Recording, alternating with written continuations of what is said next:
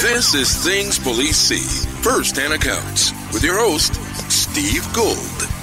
Welcome to the podcast that interviews active and retired police officers about their most intense, bizarre, and sometimes humorous moments on the job.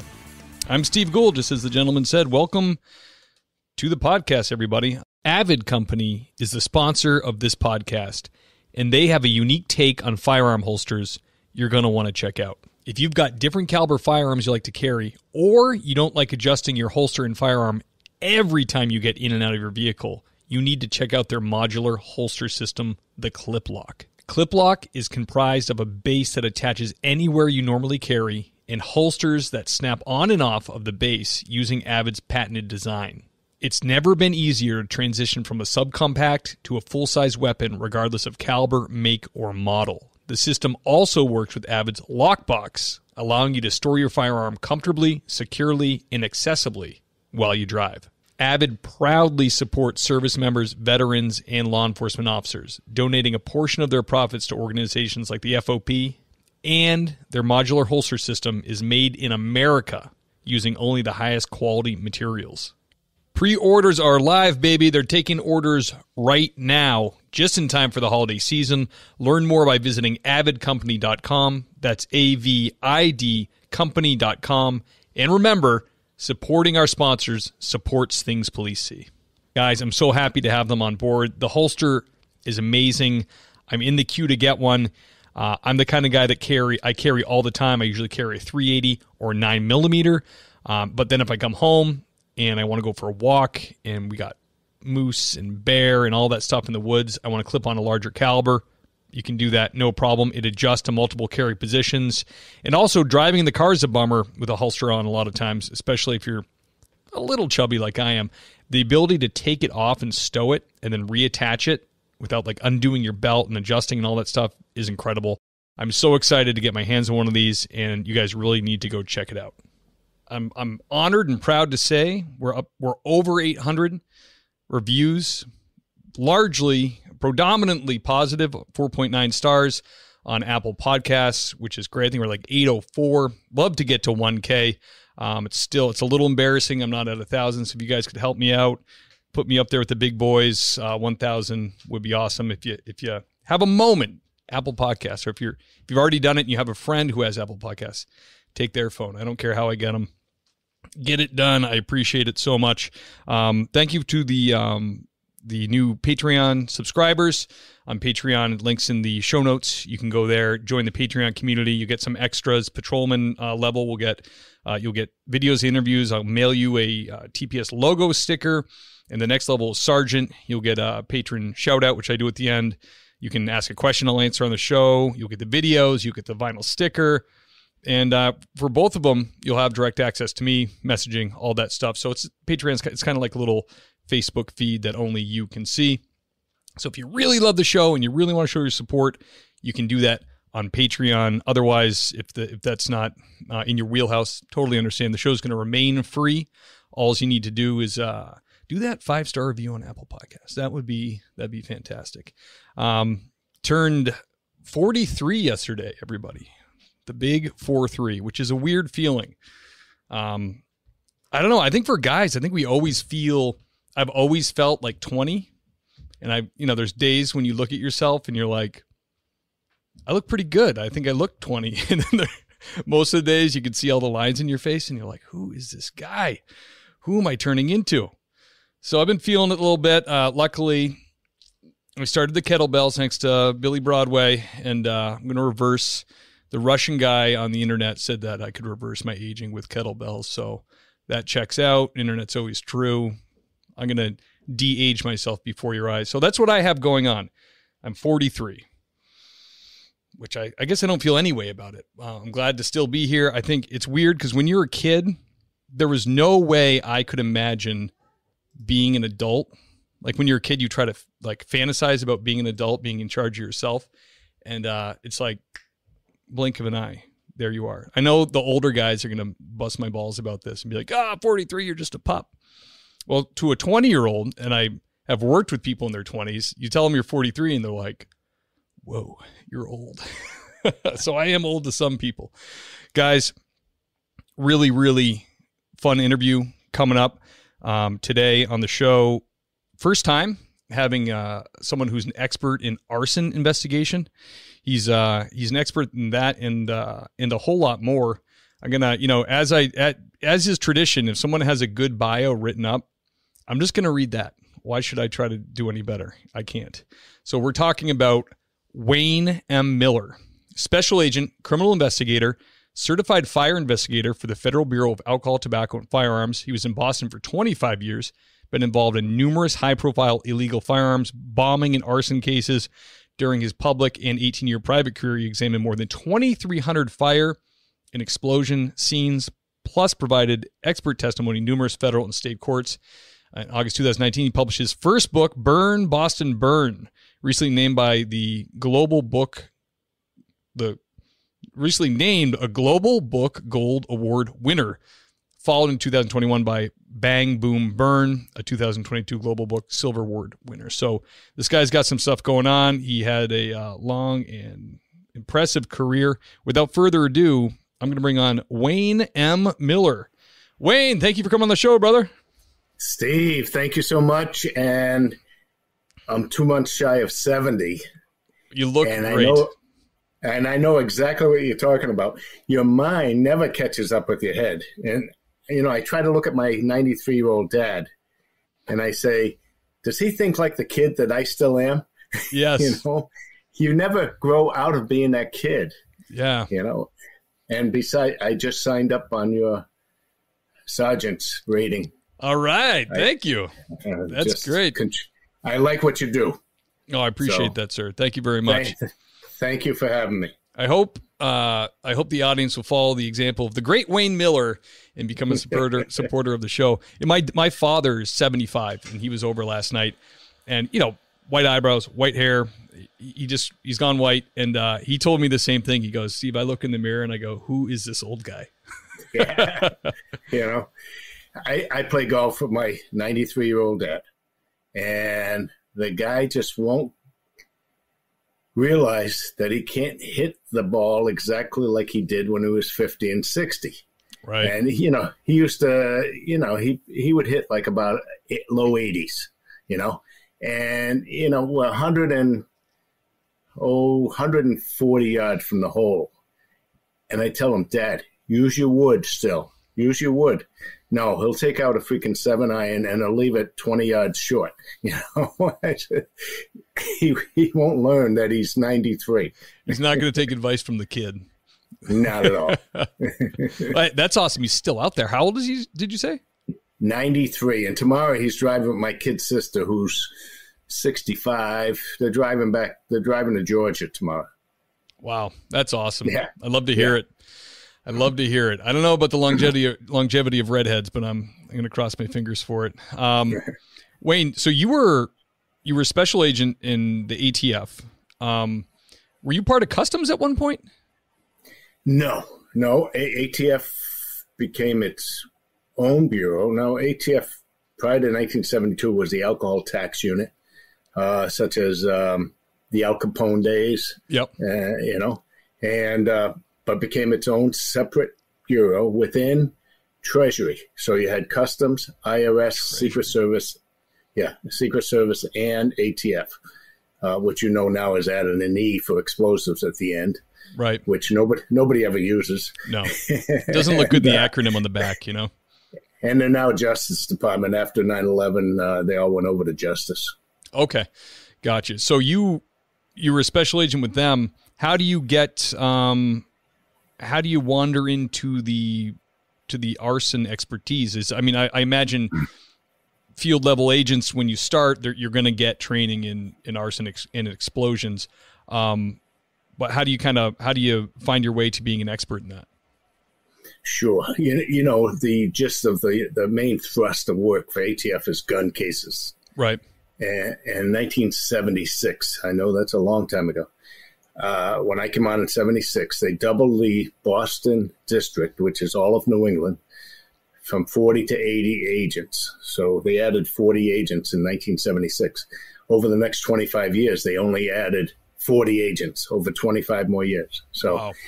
so all of us were working basically gun cases. I mean, there was a concentrated urban enforcement Q C U E to get gun crime under control. Just like today, right. they need a new a new concentration on gun crime. So they did that in the 70s, and they brought all us young guys on. So we ended up working undercover cases and paper cases and stuff like that. But that's not what I ended up wanting to do for my career. ATF got started to get serious about fires in the late 70s. They just started, but by 1980, 82, they 82 they formed arson task force cities. Uh, the first four was Boston, Chicago, New York, L.A. because the cities were burning down, and the state and local people, you know, they could do simple cases, but they couldn't do the more complex cases. Say an arson for profit with a landlord burning 20 of his properties or something like that. Oh my that. gosh. You know, because you know the complex cases take time, mm-hmm. money, money, and expertise. So if uh, there's a domestic dispute and the guy throws a Molotov cocktail in the doorway to trap his girlfriend in her apartment, you know that's a fairly easy crime to solve. Right.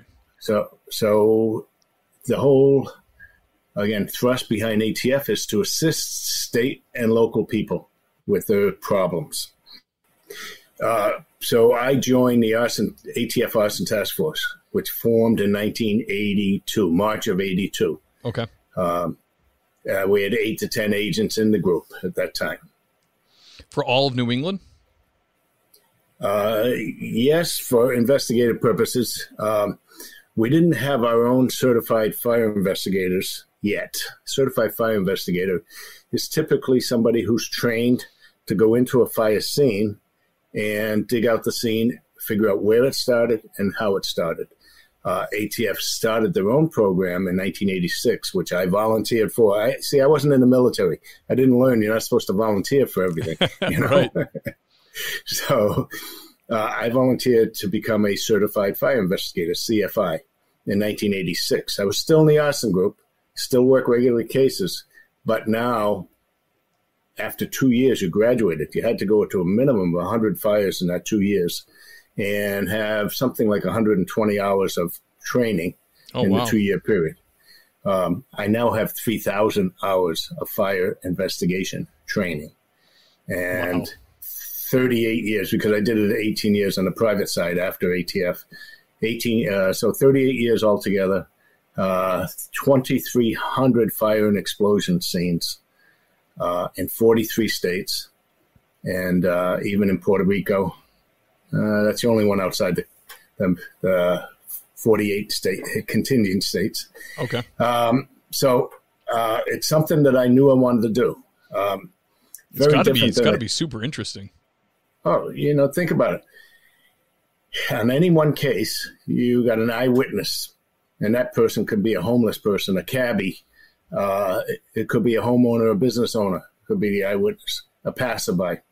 And then you got to interview the owners and the occupants. And then if it's a business, and that's what the thrust is again, it's it's uh, the building that burns should affect interstate commerce, meaning you go to your favorite restaurant and they sell you salmon. They don't get the salmon from around the corner; they get it from someplace else, right? Uh, out out of state. So if the restaurant burns, they can no longer sell the salmon. So it affects interstate commerce.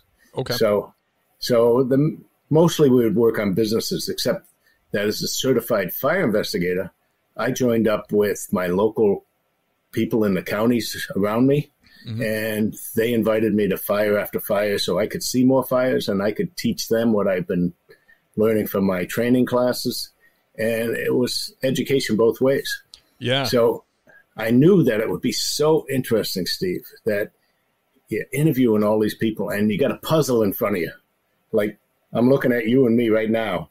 Make these views into a puzzle and try to put that puzzle together.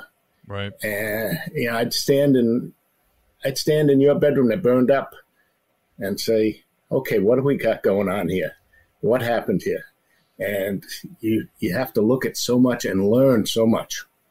Yeah, I did. Um, I did insurance investigations for a couple of years, and I did some um, torched cars. I wasn't really trained in Mm-hmm. arson, uh, and and with insurance investigations, you could you'd interview a few people and kind of get the you know because when you when you sign an insurance policy, you signed the insurance company, you agree to a SIU investigation. So Yes. if they don't cooperate, it's a lot easier than police work because you just go, okay, we just won't pay it, and they go, wait.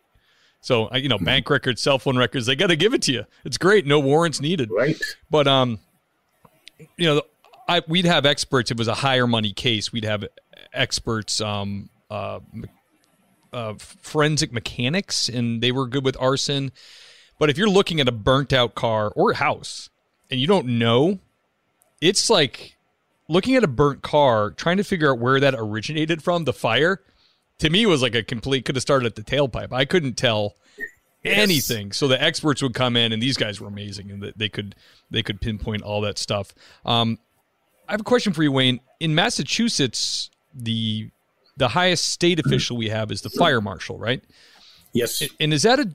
I should know this, but is that within the state police, or is it is its own office? Good question. The state fire marshal himself is appointed by like the governor. Okay. However, underneath him, he has the state fire marshal's office, which is in Massachusetts. They are state troopers assigned to the fire marshal's office. You know, in New England, in New England, you got Connecticut, they're troopers. Rhode Island, they're not. They're usually retired from someplace else, and they they join the fire marshals. Um, Maine, I don't think they're fire, they're troopers. Vermont, they're troopers. They are, and New Hampshire, they are. I worked with non-troopers up there, so I, I think it's non-troopers. New Hampshire does everything a little bit different. Um, they got a lot of a lot of freedom up there going on. Um, Yeah. So these are the guys. Then you probably you guys are going to each other's burns to to get the hours you need and to kind of work with. So the, mostly in mass would probably be troopers, or maybe a big city might have a cop specialize in that. Yeah, the biggest cities, uh, Springfield, uh, Worcester, and Boston, they have a pretty large and efficient uh, fire and bomb explosion, you know, fire and explosion investigators. And uh, they do a lot of their own work. They don't invite the fire marshal typically. Um, but when you develop relationships with these people, you end up working with them as a federal agent too. Yeah, I bet. Um, because I remember uh, I just thought of that because what was the movie with Ben Affleck and he was like, uh, remember it was some line in it like, "Why does this firefighter have a gun?" I think he was like a, a fire marshal or something like that. Do you remember that movie? Now with Ben Affleck, I don't know. Oh, jeez. All right. Well, that went to a dead end. I'm sorry. Wayne, can you, looking back at all all these investigations you did, um, what was the first one as like a young, new to the new to the business of doing these investigations? Was there a real notable first one that you had? One that was really like you know complex or interesting? uh, on the fire end or just ATF? Uh, either or. Well, I'll give you a little of both. Okay. Um, so I got on in 76 and 19, and I really can't remember anything before 1980. but uh, April 1980, uh, I got a call to respond to Walpole, Mass. I lived in uh, Norfolk County. And um, um, yeah, call from Walpole, Mass. They had a small fire, and I wasn't doing fires yet. I started doing fires later on in 1980 right. and it was in a raised ranch in a garage. And my ex brother in law is the Walpole chief now, but uh, I've talked to these guys since and put in a story into my second book. And they forced their way into the smoky garage. And when they got to a uh, Rubbermaid style trash barrel, they flipped open over something that was covering it, and there was 17 guns in there. Ooh. And eventually, they saw more guns in the house. They called me right away because uh, one of the Walpole detectives introduced me to my first wife. Oh, okay. And uh, so I was very good friends with them. And I was in Boston that day, and I got the call and respond immediately to Walpole. This detective's asking for you. They got these M16 A1s, 46 of them. Old school. 40, 46 M16s. Wow. You know, that was stolen four years early out of uh, earlier out of an armory in uh, Danvers, Mass. And there were actually 92 stolen. So the other 46 showed up in Northern Ireland. Oh, So- wow. So uh, here I am racing down to Walpole. And, you know, I'm four years on the job. I'm all of uh, 27 years old. Oh, wow. Yeah. It's a youngin. Yeah. Yeah. I got on the job when I was 23. So, um, so I'm racing down and you got this. We beat the uh, state police there. We ended up getting a telephonic search warrant, which was like one of the first ever. So I'm calling to my supervisor, who's relaying to the U.S. attorney to get a search warrant for this property. Oh, You know? I'd like to be able to do that. That's great. and it was just it was like racing against the uh, st- state police at the time and everything like that and the guy who was in the house when the fire occurred uh, some woman knocked on his door and said there's smoke coming out of your garage. He says oh i've taken care of it. Like she understood that to be i called the fire department. He took off. And it was such a fun case. Uh, at one point i knew charlie gallant it was his name. Charlie was a big drinker. And uh, he came out of Hyde Park. And during this investigation, two guys drive by in a black Cadillac in this little residential suburb. And we had an agent chase them down and identify them. They ended up being arrested later on for being part of this. Yeah. But Charlie took off and he just disappeared for a while. And I knew he was a big drinker out of Hyde Park, so I went to Hyde Park Liquors, and I, I had bought some guns undercover a couple of years before. The night Elvis died, I was in Hyde Park buying guns undercover. So I remember, I remember Elvis dying. Uh, but uh, so this liquor store owner had a couple guns that I bought undercover, and then back then the rightful owner could get the guns back. So I gave him the guns back, and he said, "You ever need anything at the liquor store? Just come on in." I never did until looking for Charlie. I said, "You ever see this guy?" Showed him a picture. Uh, never did, never did. And I, I didn't expect to hear from him. Two days later, Charlie came in there to buy some booze, and this guy calls up in the middle of the night. Now ATF back then, you ended up getting to Washington D.C. and nobody called me until Monday. I didn't find out. Right. But we, we ended up, Charlie got caught drunk driving in Connecticut. And Charlie said, eventually said, because he wouldn't tell him who he was, he said, You'd call the FBI if you knew who I was. You What know? an idiot. The things people say when they're drunk. Yeah. We got no respect either. ATF, you know, uh, you knock on somebody's door and say, hey, I'm with ATF. Can I start, talk to your husband? And the woman turns around and says, Hon, the FBI's here. You know, we get no no respect. you Everybody's know? the FBI. yeah. So uh, Charlie, I, I raced down to Connecticut and beat the state police there again. And Charlie begged me to stay in prison with him that night because he said there's got to be a hit out on me for losing all those guns. Ooh. You know, so. I said, I said, Charlie, you tell me who and where and why you had those guns, and I will gladly take care of you. Uh, he wouldn't tell me. Really? He was an old, old style criminal. Also. He says, "I've been a thief all my life. I'm gonna be a thief when I get done with this." He says, "You got your job." See, the respect for law enforcement was so much different. yeah. You got your your job. I got my job. Ten years later, I saw Charlie on the steps of the Dedham Superior Courthouse, and I know who you are. and he said, "I know who you are." And we talked. And he said, "I told you I'd never change." He was there for another B and E stealing stuff. You know. And in Massachusetts, you can just keep coming out the coming out the door, the revolving Yeah. the door. Yeah, he did eight years for the guns, but Oh, okay. uh, you know, so Well, but uh, federal federal law usually has pretty good teeth. Put you yeah. away. So I, so I had to race down there, and here, you know, the thoughts are going through your head when we would, you know, I got brief words that we would cover. There's a lot of guns here and stuff like that. So that was that was a big case. That's cool. And, uh, on the fire end of it, Oh, uh, Uh, Wayne, let me ask you, what what was the fire? Like, why was it? oh, that we think he he had a uh, common law wife, but she wasn't involved the night before.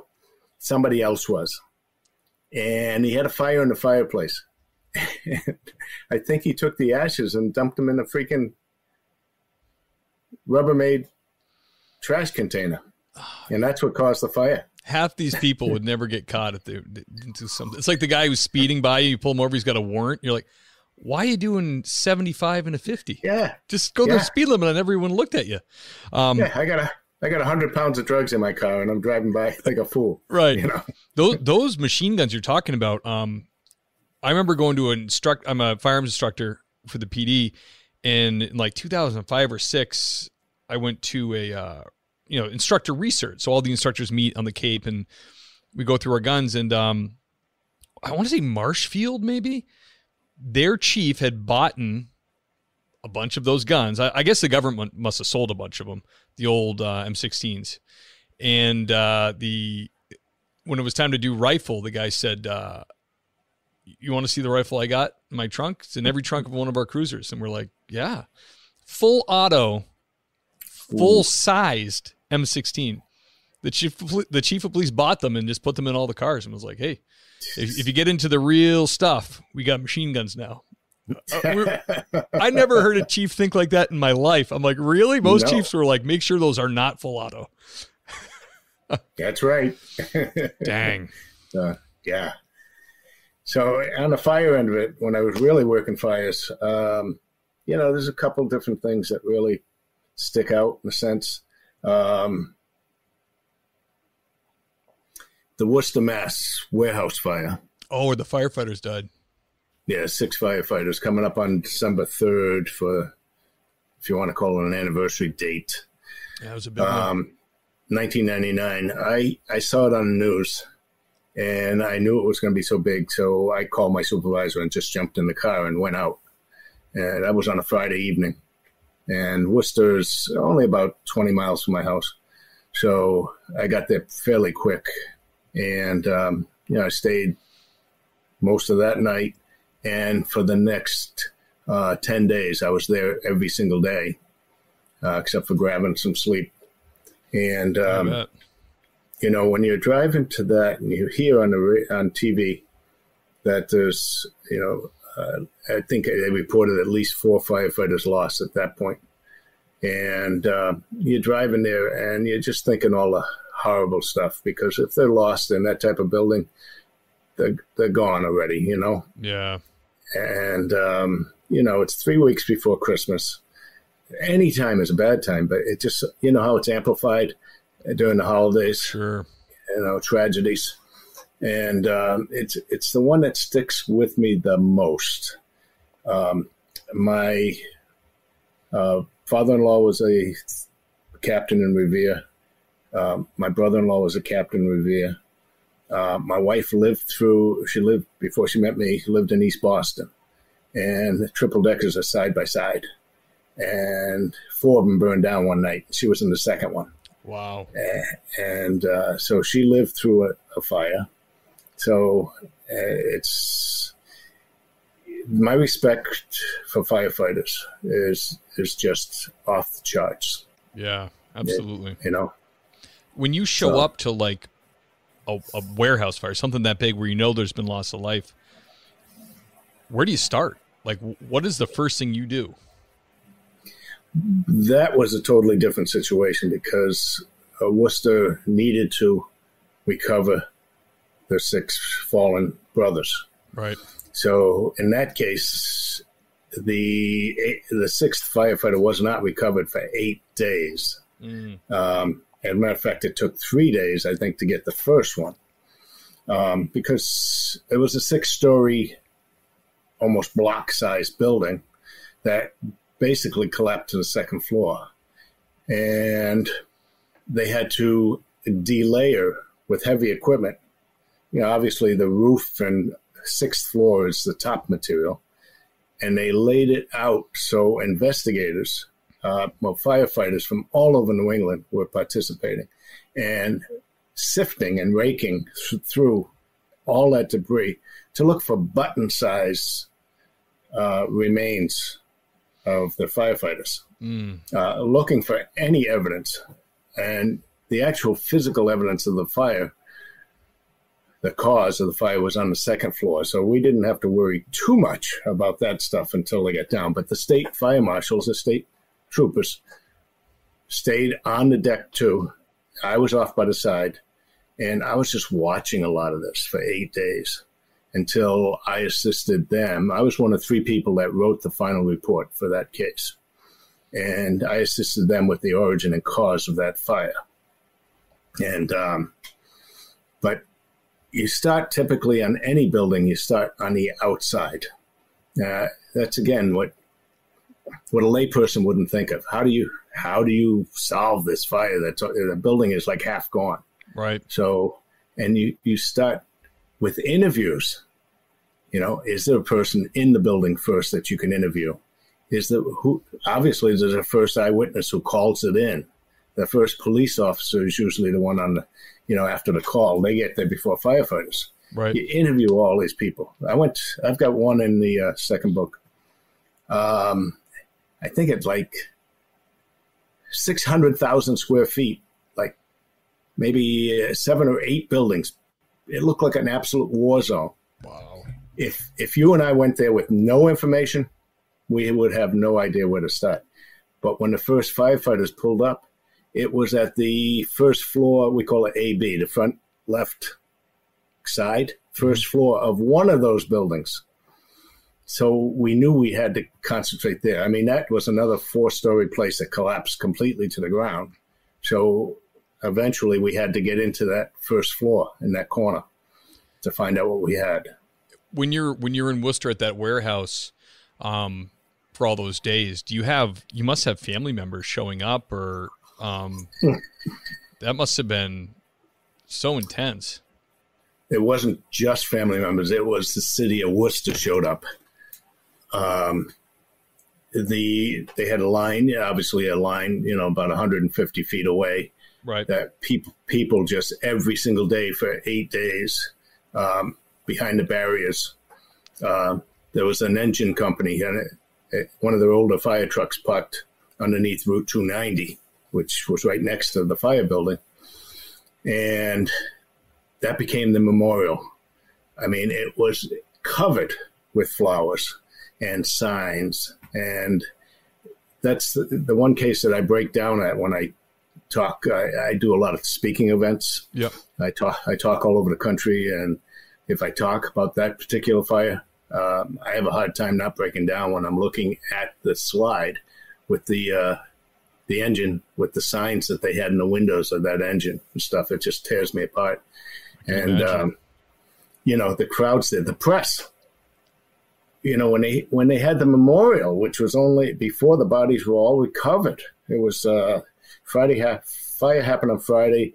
The following Thursday, they had a memorial at the Centrum, the, the Worcester DCU Center, whatever they call it nowadays.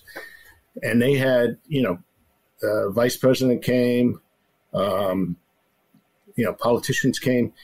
We had about 10,000 firefighters Wow. And all of all of them couldn't even fit inside the DCU. I think it hold held 7,500 people. And uh, it was just an amazing, horrible event. And uh, I remember some criticism about it for the fire chief about you know there was no one in there, but so why were they why were they sending the guys in if there was no it was there's no you know unless there was some vagrants in there, but there was no like apparent loss of life that was going to happen, but now we have six dead firefighters. Is it? It is a um, vacant for 20 years at the time, and a diner owner, the diner's right next to the building. He said these two homeless people sleep in there all the time. Oh. And now the fire the fire comes in like at six o'clock at night, and they don't know and that's what firefighters do. Yeah, they sent in they sent in two, but a cold storage building is an unusual animal. It, over the years, it's divided up into different lockers to hang your your meat when before refrigeration originally when it was built, and you can get lost in there easily. Um, so the first two firefighters got lost, and there's no windows from the second above the second floor. Zero windows. Oh man, you can't even get your bearings. Yes, so they couldn't even tell what floor they were on.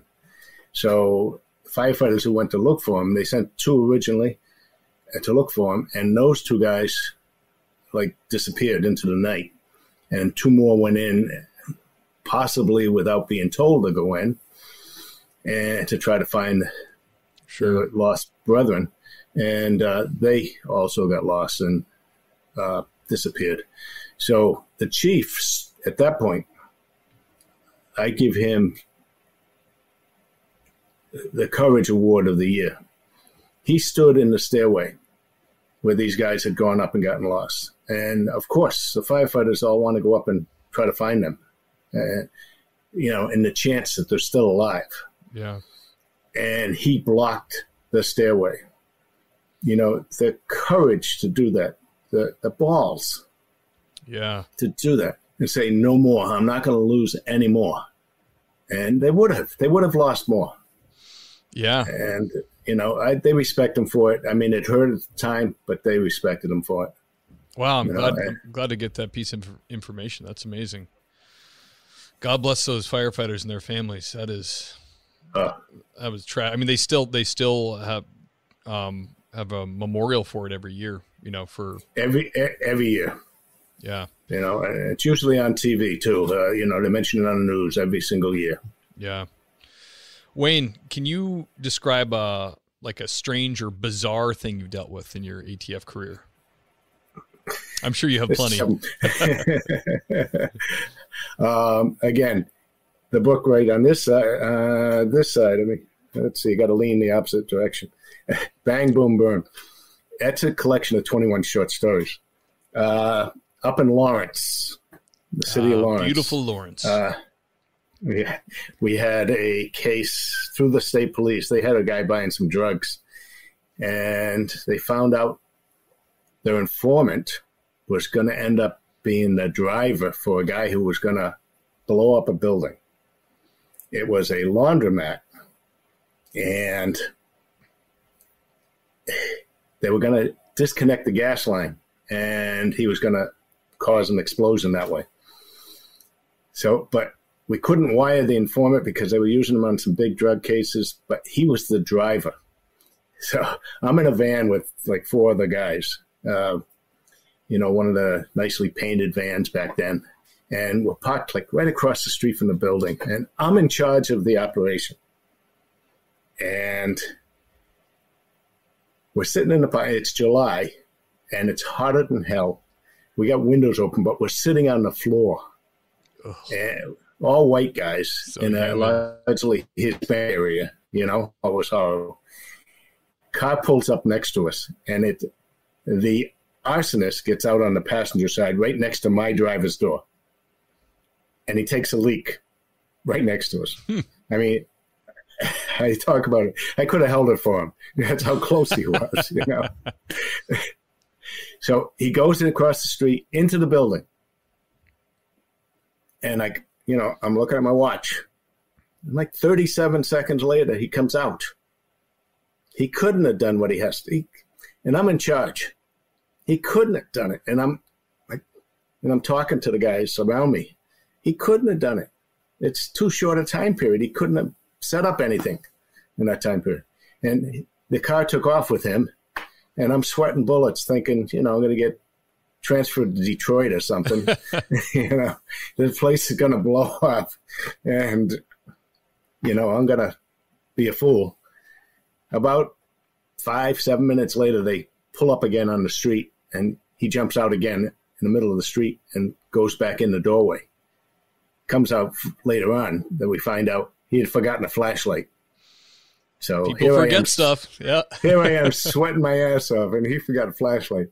And so his nickname was Cookie. So Cookie went inside, and um, I, I a couple guys go right next to him, next to the doorway. We had state police surrounded behind the building. We had the gas company on notice, waiting.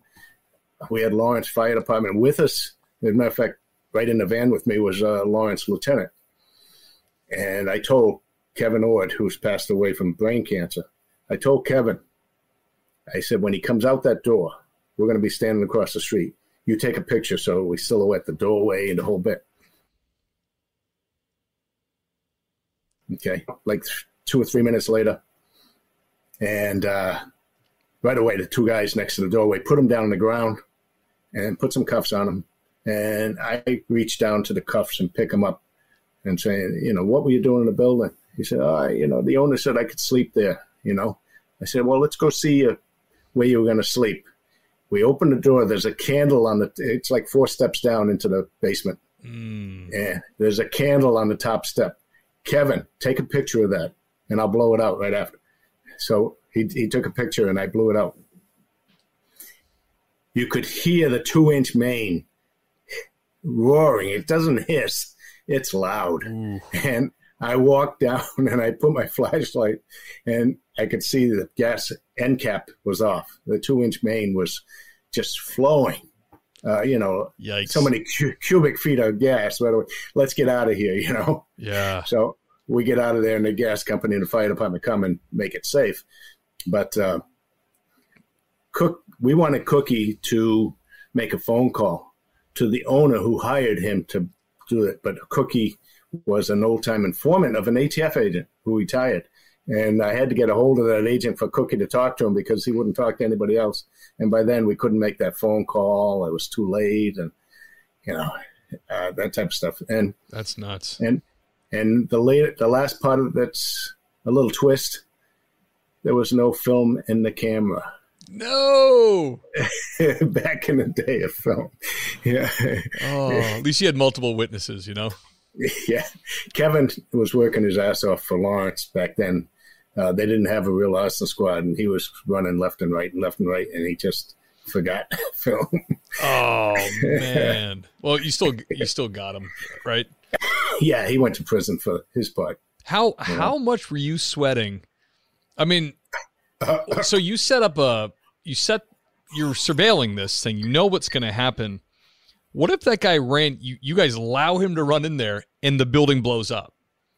Would you? I mean, that's got to be on your on your mind too. Like, what if, what if we, because you know the court the the courts would say, hey, you had enough. Why did you let him go in, or you know whatever they would they would say what they'd Monday morning Monday morning quarterback you. So you must have been yeah. nervous that he was actually going to. I mean, this guy's not a brain surgeon. He could have screwed up and blown the building up, and then they would have been like, the ATF knew he was going to do it, and then they let it happen. That would drive me yeah. nuts. Yeah, it was driving me nuts. I mean, I had the okay of the uh, uh, the front office, you know, the bosses had the okay of uh, the U.S. Attorney's office, but and again, we had the gas company, but you know, like you're saying, this could have happened almost at any time. And how about when he walked out and I let him go? Yeah, you know, yeah, um, yeah, exactly. I, That's so intense. I, I, was dying a thousand deaths. I remember in um, the little town I worked for on Cape Cod, there was a guy who we got a witness, uh, an informant that said this guy's going to rob the bank. He he's got it planned out. He's got the gun. Blah blah blah. So we get the FBI involved in the whole thing, and um, similar thing. They were cool with. They talked. First of all, they talked to the tellers. Will you play ball if we if we let them come in? And they said, yeah. Whoa! Like the three female yeah. tellers are like, yeah, let them come in. Um, and then the same type of scenario, I was thinking, wow, the, the FBI's in charge of it, and they're experts at bank robberies. They want the guy, they want the guy that said he's going to go in there with a gun. They want to let him walk into the bank. And I thought, oh my gosh, just to make that decision, because you know, if he takes hostages, what if he shoots somebody in the face? These guys, right. they're usually drug addicts. You know, it's like they're not. Yeah. You can't predict them, but yeah, that's why you get the big bucks, brother. yeah, yeah, that's absolutely right. You know. Oh, um, so you want to marry my daughter? Yes, I do. So do you hang out in the hood all the time, or do you just come up here for our food and women? This January. Your family, my family. I don't know how this is gonna work. I like your braids. Thank you. Exhibit had braids. Jonah Hill, Lauren London, David Duchovny, Nia Long, with Julia Louis Dreyfus and Eddie Murphy. What's up with White Cuz? Am I White Cuz? Well, I'm not. You People, directed by Kenya Barris. Rated R. Now streaming only on Netflix. Discover the advantages of the Samsung front load laundry pairs at Lowe's. These large capacity washers and dryers are designed for versatility. Stack them, place them side by side, or use pedestals in exciting new colors such as brushed black with rose gold accents. Plus, Wi Fi capabilities that allow you to control everything from your smartphone. Find the Samsung Front Load Laundry Series at Lowe's today. Home to any possibility. Yeah. So That is a crazy cases. Yeah, absolutely. Let's get into. Um, I, I read up a little bit on the um, Burn Boston Burn. That is an insane story of arson, one of the largest investigated in our country. Can you give us a lowdown on exactly what that was? I sure can. And it is so crazy that it's they just bought my book rights. Hell yeah! Uh, for um, their intention is to make a dramatic series. okay, and right now- congratulations. That's amazing. Yeah. Yep, They've um, they signed the contract, the whole bit. Um, if they can sell it to Netflix or whoever, Yep. um, I have a screenwriter and a producer already working on it, Beautiful. and yeah, they are going to make me executive producer for every episode. I knew you win. know. You run things police see. So executive producer Wayne M. Miller, you know, it's going to be it, it's surreal, is what it is. Isn't you know, that cool? to go to go from investigator to a writer who self publishes a couple books. Um, so, uh, Burn Boston Burn, good title for it. My my son in law did that cover and the cover for both books. Gets uh, crazy good reviews too. You Ton know. of reviews. Yeah, I'm almost up 400, and uh, yeah, mostly pretty good. I, I, like um, another podcaster said, you know, I got a bad review because I hated law enforcement or something, but I got a bad review because the pages started falling out. The book they bought from Amazon, they gave me one star, and you know what that does to your ratings? You know, Oh, I have people, Wayne, that listen to this show. They will they're they're fans of the show. They've listened to 50 episodes and then one episode. They never give me a review and then no attaboys, nothing. They'll say in the review, I've been a fan of the show for this long, and then they will criticize one episode and give me one star. yeah, hate that. Well, what about know? the 50 re- interviews you liked? Right. You give me a one, Right. and like you said, that that hurts. A one star when you're going for five, that Yeah. brings that. You know, we all know how Yeah. um, averages are tabulated. That screws you. But It yours, does. yours is. I mean, I think it's four and a half or five stars, anyways. So you're weathering Yeah, the storm, like- brother. Yeah, and you know, uh, I take it to heart when I get a bad review. And there were so many fires in this book. Uh, these are nine guys. Three of them were cops. Three of them were firefighters who set 264 buildings on fire in two years. What the? What year was You this? know, from 82 to 84. Some kind of um, were they protesting something through because of union Yeah. mal- malfeasance or whatever? Uh, they were protesting Proposition Two and a Half. You're from Massachusetts. Proposition Two and a Half got voted in November fourth, nineteen eighty, the same day that Ronald Reagan got voted in, and the same day that Master Arsonist to be Greg Bemis turned twenty years old. Greg Bemis is one of the main one of the main arsonists in this book. So what is that? What is that proposition? So simply, if you have a property that's hundred thousand dollars, it can only be taxed to two and a half percent of that value, or two thousand five hundred. And Boston, Springfield, Worcester, Lawrence, all the old cities had a lot of low valued properties. So the cities and towns started laying people off, not knowing where the money was going to come from to pay these people. Oh, okay. So I'll stick with Boston because these guys concentrated on Boston to begin with. Uh, Boston lost 600 firefighter positions out of 1,700. That's well over one third. Wow. That's a lot. And they closed 22 fire companies. So think about your firehouses in some small cities where you've been, and you closed down 22 fire companies. It's So insane. they, you know, they had painted over the doorways closed and stuff like that. And, you know, the apparatus would sit there and stuff like that. So So these guys, in a twisted version of Robin Hood, and this I came up with this type of thing. Instead of stealing from the rich to give to the poor, they said if we set enough fires, the people are going to scream, the press is going to pick it up, and they really wanted the press, and that will put pressure on the politicians to find the money to put these guys back on the job. I see. And that was the goal. So they started with their first fire in March of uh, February of 1982, and the arson task force for ATF started in March of 82. It had nothing to do with them. They didn't know about us. We didn't know about them. And it's just pure coincidence. And uh, they ramped up during the spring into the summer. June 11th, 1982 was the busiest night in Boston Fire Department history. There were 11 fires that night, and I think six of them were multiple alarm fires, up to nine alarms, two of them on the same night. Wow. Nine, nine alarms, the biggest uh, number of alarms that they go to. And they had two of them on the same night, and they had a six and a four, I think, also on the same night. Um, so they're running ragged. Uh, like fire companies from Weymouth, from Norwood, you know, we're talking 20 miles away, were coming in to fight fires. They didn't even know where, how to find the address. You don't have uh, GPS. Yeah, I'm sure it sucked all the all the burbs in. Yes, absolutely. And and then when we started getting not onto the specific guys, but started doing surveillances and stuff, then they would go to Canton, Cambridge, Quincy, Everett, Lawrence, Lowell, all the way to Fitchburg. In November 1982, they went all the way to Fitchburg and set four major multiple alarm fires in one night. And I love to tease people with this. Somebody almost died that night, and it wasn't by fire. And that's how I teased that night. So they're gonna that's gonna be one episode all by itself, they said, probably, is the night they went to Fitchburg. Wow, yeah, Fitchburg's not my. The church I attend is in um, Westminster. It's right next door to Fitchburg. Oh, sure. And, yeah, Fitchburg's um interesting town. It's uh, a little rough, a little rough around the edges these days.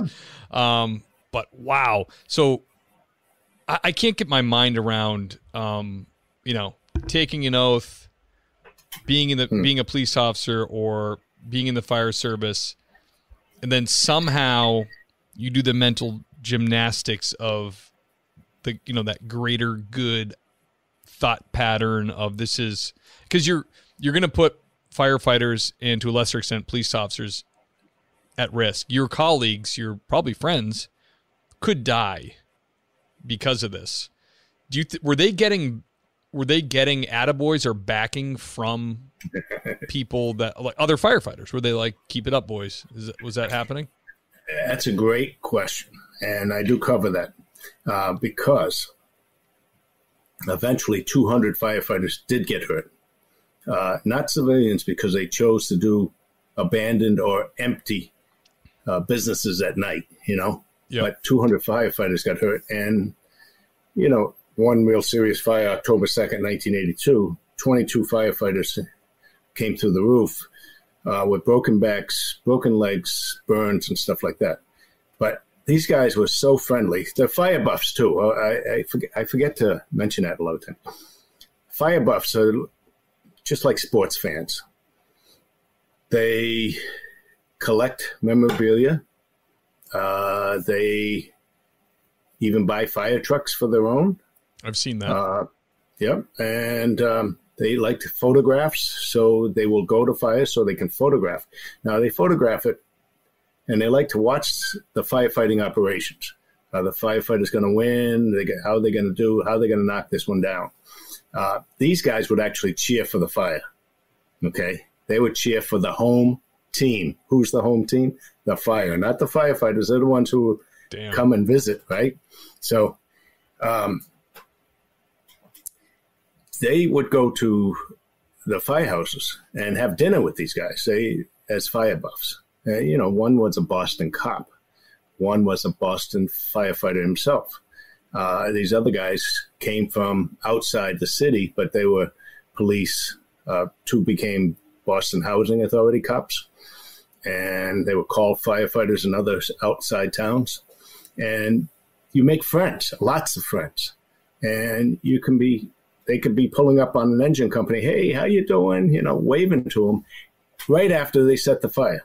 Okay, Ugh, and uh, they would go to they would go. There's organizations, professional, uh, you know, organizations call this like Boston Sparks Association. Mm-hmm. They're legitimate sparking. Sparking is a nickname for a fire buff. Um, you spark a fire, you go to a fire to watch it. You know, that's what it's called. And two of these guys were members of the Sparks. Two of them would never be allowed. They got voted down. So those guys hated the Sparks Club. And they would go to the Sparks Club picnic. I've been to it with my wife now and stuff. And, um, you know, firefighters, the engine companies will pull up in Boston and they'll have a quick, they'll cook hot dogs and hamburgers for the guys and stuff. And then they go back to work. Um, and it's a great organization. It's been around 100 years. And I'm not kidding, 100 years. Wow. okay. And um, so these guys would spark the fires. They'd, they'd go watch these fires all the time. And they'd go to the Sparks picnic. And they'd be sitting with the guys. This is kind of sick.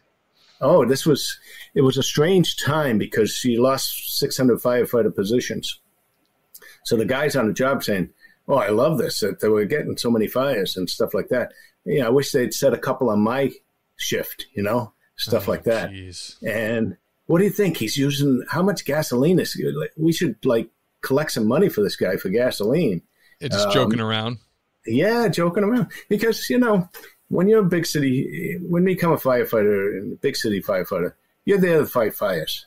You know, you're I mean, it's it's it's gallows humor too. I mean, cops do the same you know? thing. It's yeah, they're joking around.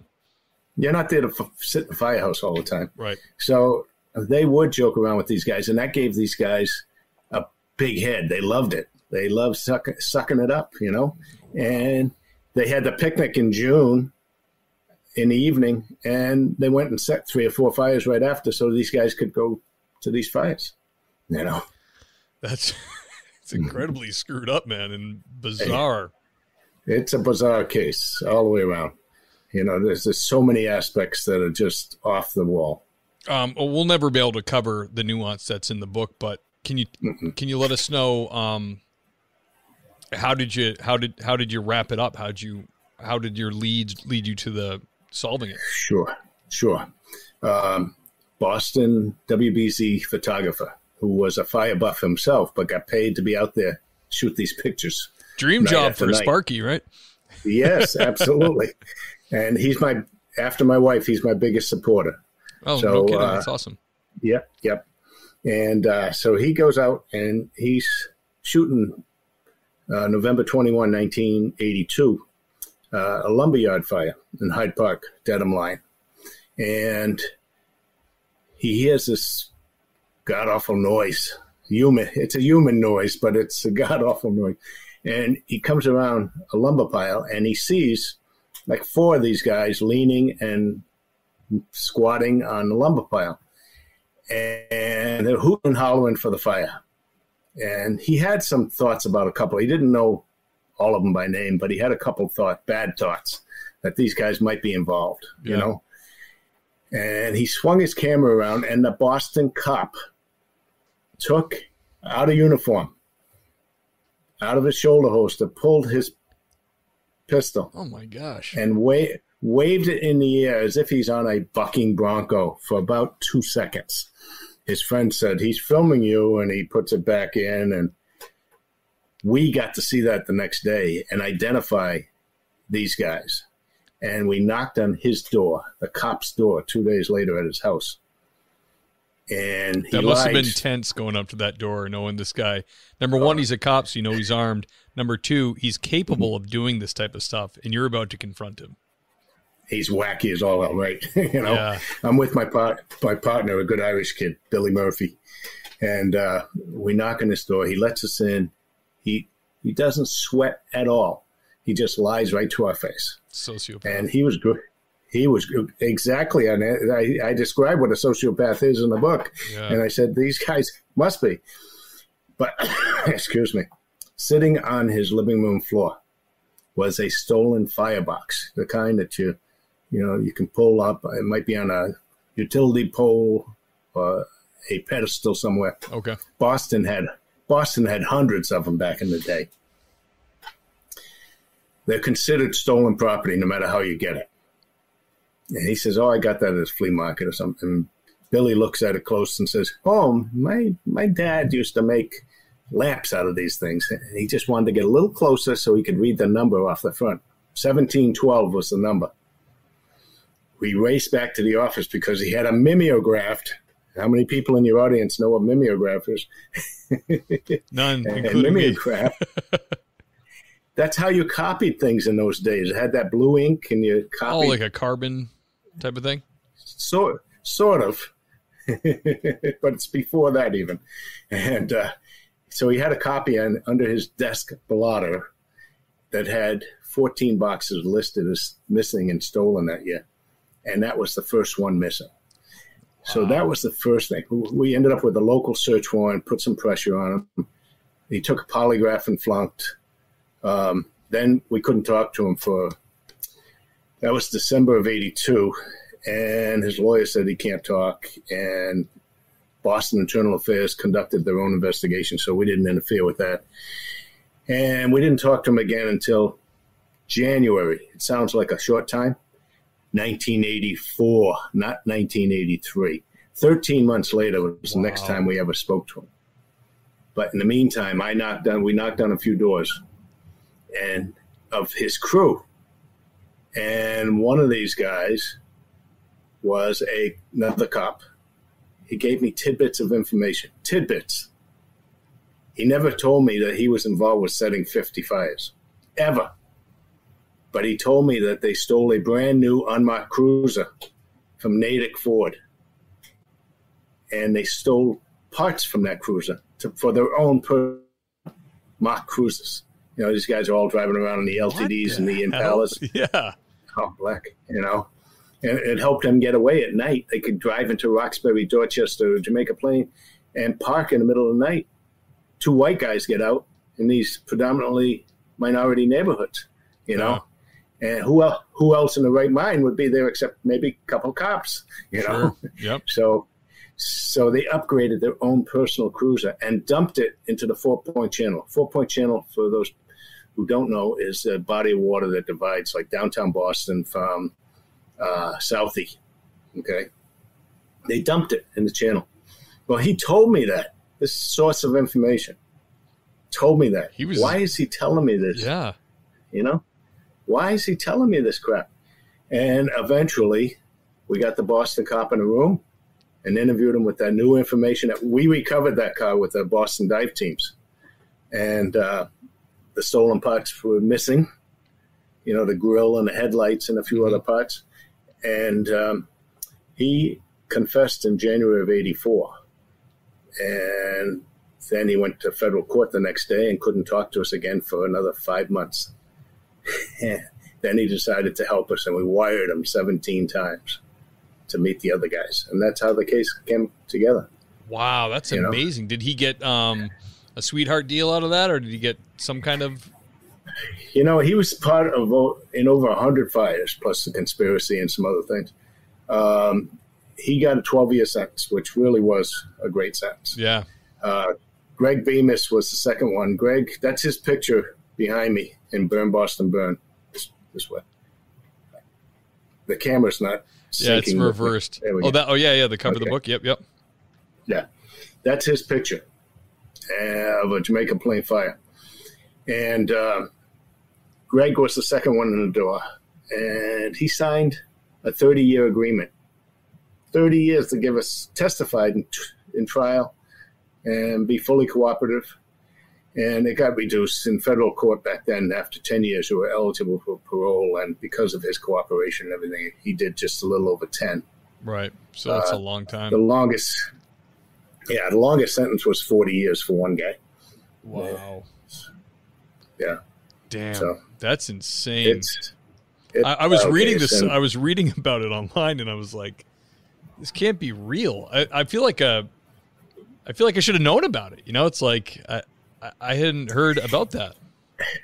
you know it's the same thing right in boston unless you're 55 years or, or older uh, you have no inkling of it. Like the Wahlbergs grew up in Dorchester, Yep. and the Wahlbergs grew up during this time period, and they know about it. Um, but yet, most people, including Boston firefighters who are new to the job today, don't really know about the case. And um, I've had so many strangers say, "I'm glad you brought this part of Boston fire history, of Boston history, you know, into a book." And you know, I I have to gig my own book in a sense that the people who give me those bad reviews are, are the real readers of the world. I, the firefighters and police read it and they like the story Sure. but the real readers of the world, the real the real readers of the world say it's too much repetition, and you know I I tried to narrow it down. I didn't put 264 fires in there, but I put in you know 140 of them, and some of them are only a sentence.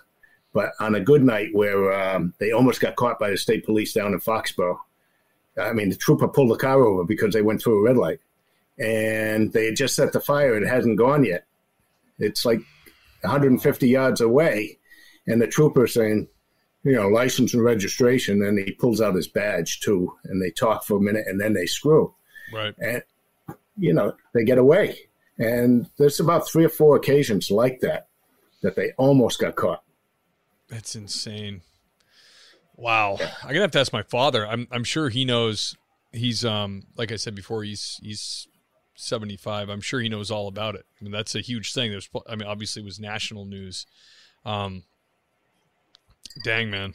Um glad you caught him. I I, I can't I can't I can't imagine being in your position being a law enforcement officer, being a special agent, investigating a cop it it's like uh, the guy's betraying the whole the oath. You know, it's it, it must be like a, guy like you who is um, you know upright and, and righteous and all those things, um, doing your due diligence, having to come down on cops. It must it must suck so bad, and you must also think like, how did this guy even get this far in law enforcement?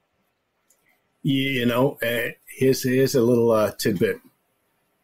Uh, my partner Billy Murphy, what a small world.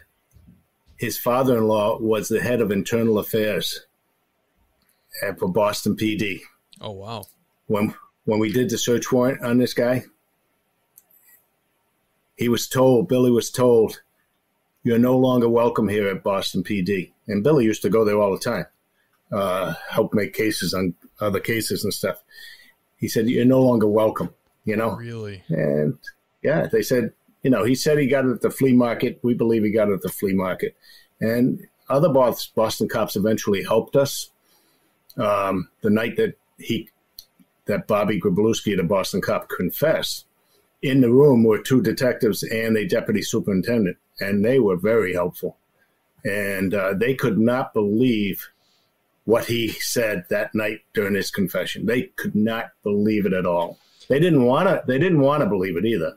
that's the thing. They Yeah. these guys there there is a brotherhood and you have each other's back and you don't want to believe that he's capable of that and he's gonna he's gonna stain the BPD badge and you don't want to see it happen but you got I mean I interviewed um, a friend of mine from backgrounds at LAPD um, Dave Escoto uh, such a fun interview. He did Vice and all that fun stuff and he was eventually a homicide detective but he was internal affairs for a while and he said you have to look at it like you know policing your own is is the best thing you can do for for your own agency. Like you you really need to um get a hold of going after those people who are standing the badge to get rid of them Yeah. because you don't ultimately want their you know their toxicity to stain the whole agency. Who if if if you don't catch them early, who knows what they're capable of once they get cocky and they get away with a bunch of stuff Right. and now they're,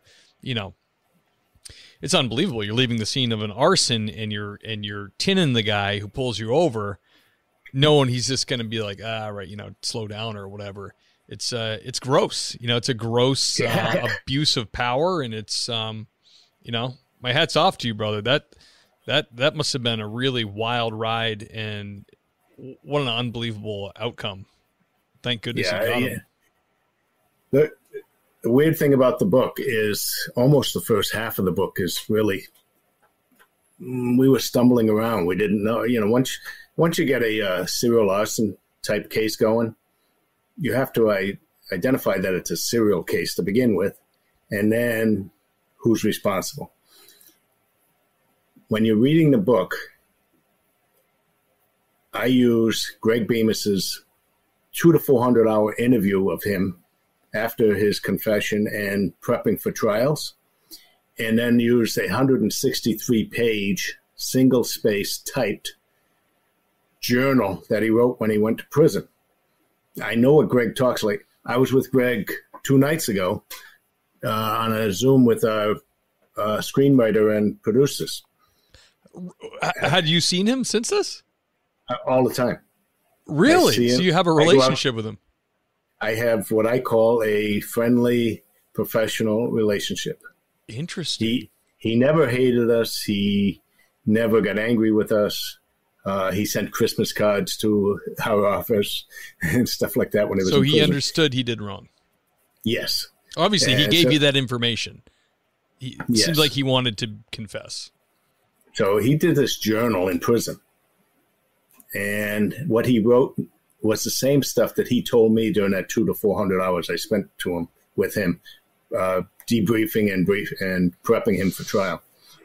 And um, so, what I wrote in the book, especially in the first half to three quarters, is the actual thoughts, actions, words between the arsonists. Because when Greg says something to me today or that back then, it's the same words that the other guy. I interviewed every one of these guys eventually.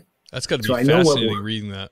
You know, so it sounds like fiction when you're reading it because you actually hear the words between these guys, and then it gets real uh, later on. You know, they think, and they think obviously they're on they're being righteous, like they're they're on a mission, and they're doing. They've convinced themselves they're doing the right thing. Yes, when the newspaper picked it up, uh, you know, they loved it. They just sucked it up. When, you know, as a matter of fact, Greg Bemis himself burned a Massachusetts State Fire Academy building. It was an old, it was an old building. He he burned it himself, and um, he still takes credit for the fact that we have a much newer, nicer facility. Oh man! And, yeah, and eventually something got passed called the Tregor Bill.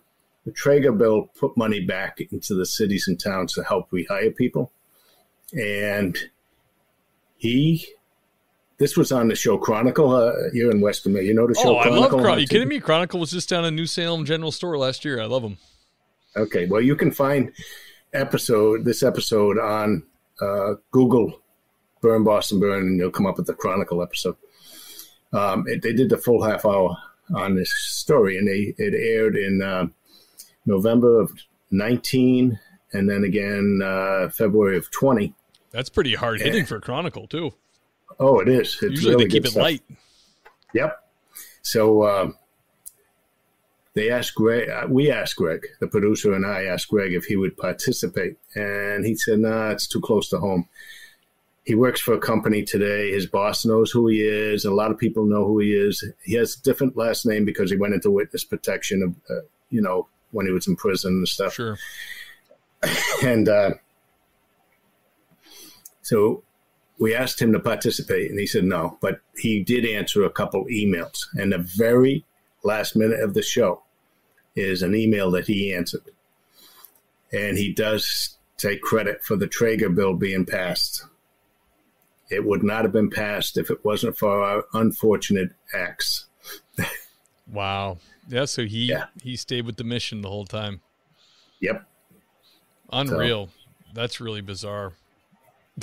Dude, yeah. when you read that, you were like, "Damn it." you know, I did not preview it ahead of time. I didn't know he answered it that way. Oh you know? man, that's that's nuts. You Wait. know, they they be, they became domestic terrorists who enjoyed what they were doing too, and and screwing with the investigators. They enjoyed that too. So, yeah, it sounds like they got addicted to it. That's they, they did. Oh man, that's that's screwed up. What a crazy and awesome case. Um, Wayne, can you tell us about a a heartwarming situation you came across as a special agent? Is there any? If not, we can go right to the next question. Hmm. I don't know. Um, some some know- guys don't have an answer for this. the Boston police officer bombing happened in October of 91. I was part of the national response team um, ATF has. We respond to any large incidents or loss of life or bombings and stuff like that within 24 hours, any Okay. place in the country. And, you know, we went to uh, that fire, uh, that explosion. It was an outdoor explosion and killed a bomb squad police officer from Boston and uh, researching it more for the book, for my second book. There's a chapter on that in the second book. And, um, you know, I take these type of murders and these horrific crimes to heart too. And again, Sure. when Jeremiah Hurley, who died eventually that night, when the bomb went off, he was with Frank Foley. Frank just died two weeks ago. So um, Frank got lost an eye and had burns and several surgeries and stuff like that. When two uniformed officers who were out in the street came racing up into the yard where the explosion occurred,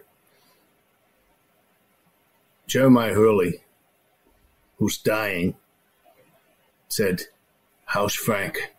Is he going to be okay? That type of thing. The wherewithal Wow. of this guy with the blast and, you know, tell my family I love them and everything, you know? Mm. That, that just tears you apart. And I didn't know this until I wrote the book. And there was a rookie female police officer who was one of the two that were the first on scene. She later committed suicide. Oh. And a lot of it had to do with this case, had to do with this bombing. And, um, you know, I had some contact indirectly to the family to see if Frank was willing to be interviewed for my chapter in the book. And Frank could not do it. Again, PTSD. He could not do it. And that was um, 30 years, 30 years after the fact. And so to me, uh, that's somewhat, if you want to call it heartwarming, it's, it's tears your heart out, is what it does. Yeah, You know? absolutely. We have um we've had guests in the past, um a bunch of guests who've you know, you come on this show and it's people love to hear a cop talk. They just they love it. They they it's like lifting the curtain to hear what you guys actually do. And I never a lot of times I take it for granted because I've been I've done so many interviews now. Um let's hear the stories.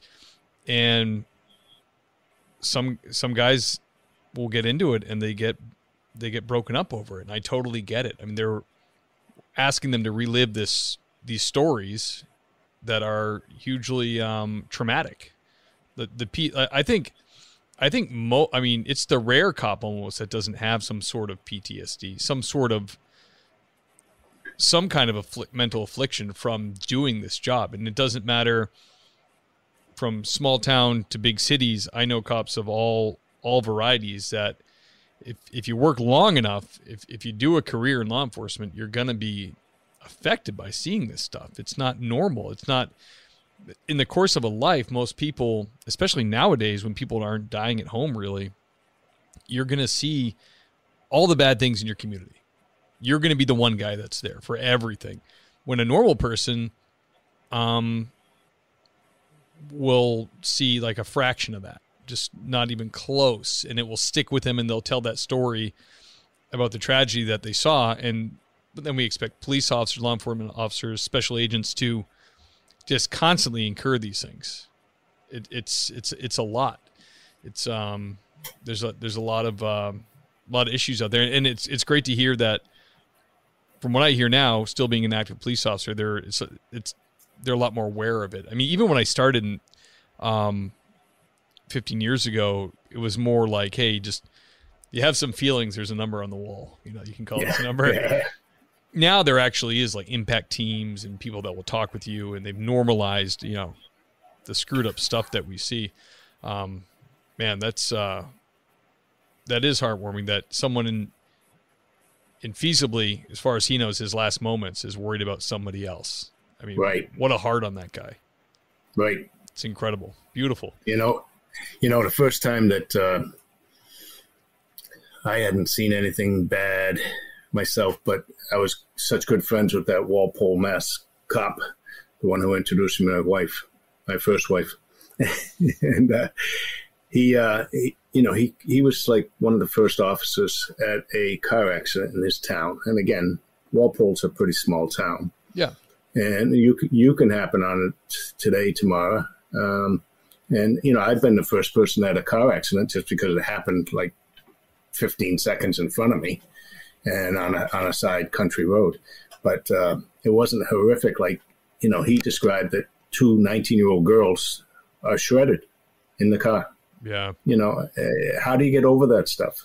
You know, yeah, it's not easy, not easy at all. yeah. It's tough. Yeah, even on the like you said, even on a country road, you can have somebody begging and pleading for you to get them out of the car that they're entrapped in that is on fire and they're burning burning alive. It's like, you know, it's it's some crazy stuff. There's definitely crazy stuff out there.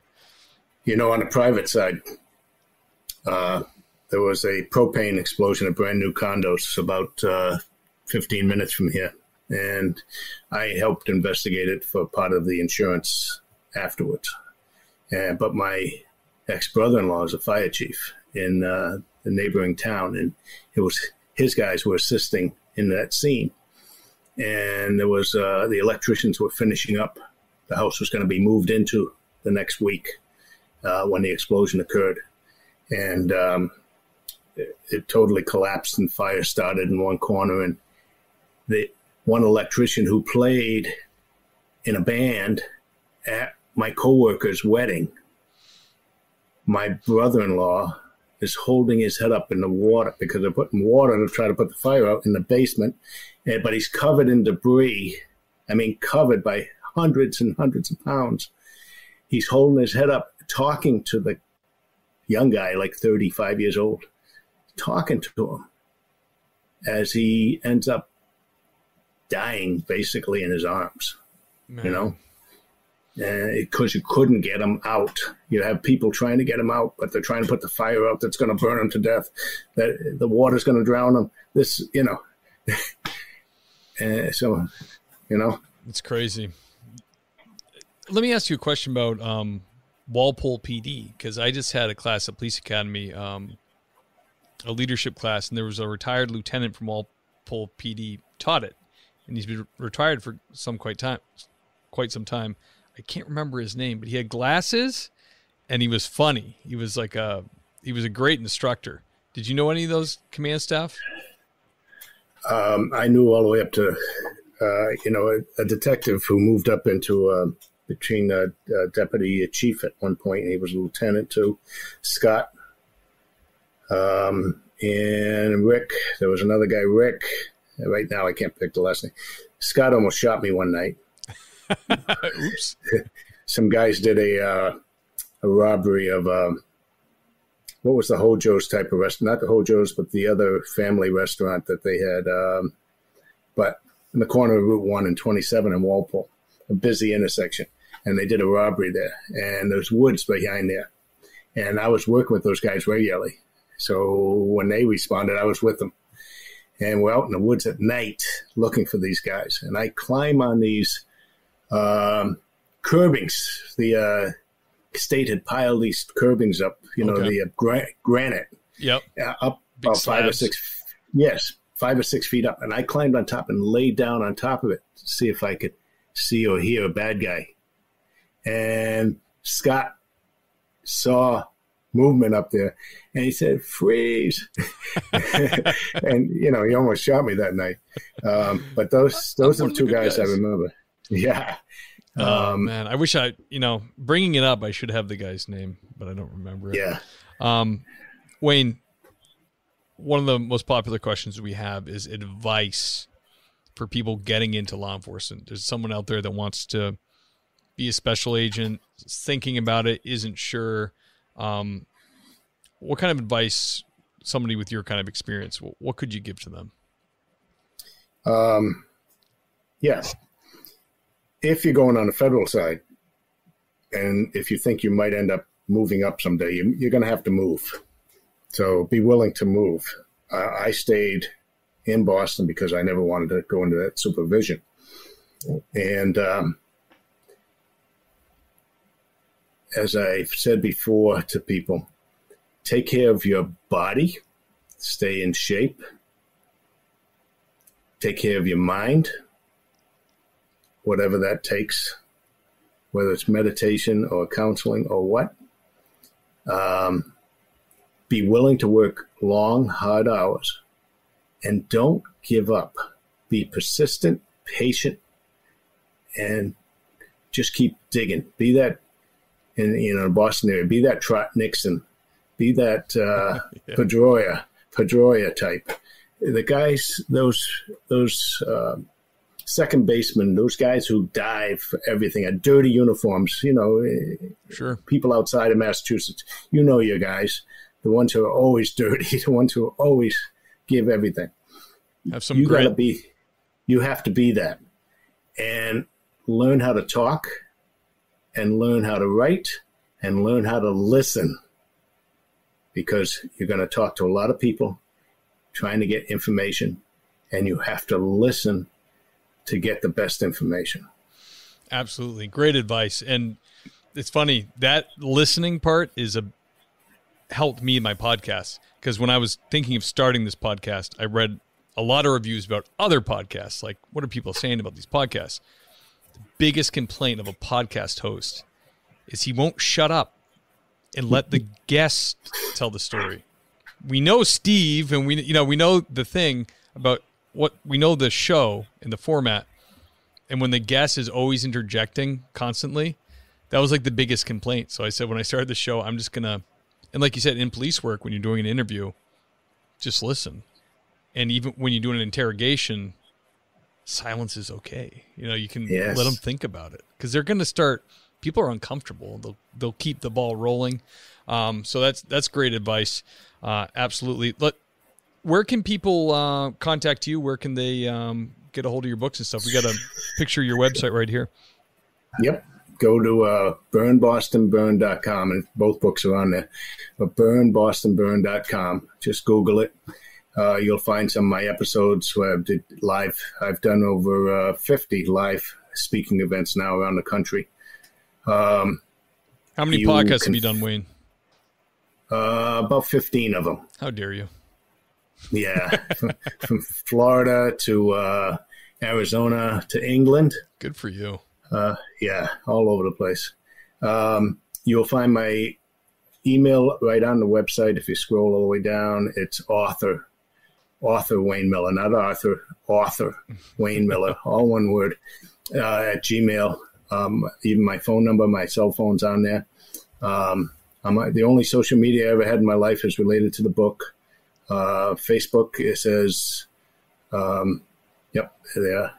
Facebook says uh, "Burn Boston Burn," and my LinkedIn. I have over nine thousand police and fire and professors connections around the country. Holy cow! And it's Burn, Burn Boston Burn um, is my LinkedIn. Uh, if you hit Wayne Miller, you can find me too. And um, that's about it. Awesome. Wayne, thank you so much for coming on the show, brother. It was an honor to have you. Great mm-hmm. stories, incredible. I mean, we didn't even get even close yeah. to the nuance they could find in the book, so I'm sure people will be checking that out. Um, it was an honor, brother. Thank you so much. Can you hang up for one second when I do the outro? Sure, I love it. Thank you very much for having me. And uh, if people get the book through my website rather than Amazon, I have color pictures in my book. Amazon does not, and nobody else does. Uh, Barnes and Noble so sell my books, and they don't have it. And also, I sign the book and put it in the mail myself. You're kidding? And That's awesome. I do it. The books are right. I got 300 books upstairs right now. Phenomenal. You know, That's so, great. So All right, brother. Thank you. I'll be right with you. Okay? Very good. Okay, you got it. Ladies and gentlemen, the great Wayne M. Miller. Man, that was fun. I love uh I love uh getting the nuance and the specialties of law enforcement. Very cool. Thank you, Wayne, for coming on. Guys, thank you so much. As I said in the beginning, thank you for all the five star reviews on the show. If you love the show and you want to show your support, five star review on Apple uh, Apple Podcast. No big deal. It's easy. Get it done. I appreciate it. We're at the part of the show now where I'm going to thank the patron, the Patreon, the patrons that are sergeants um, of the show and also sergeants of my heart, if we're being honest. I'm talking about Wayne M. Miller, Nick Noose, the great Tom Connell, Dennis.